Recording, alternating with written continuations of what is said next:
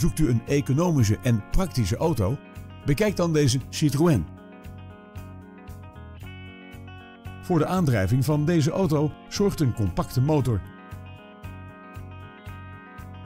Het comfort in deze Citroën komt onder meer van climate control, cruise control en elektrisch verstelbare buitenspiegels. Nieuwsgierig? Bel ons nu voor een proefrit.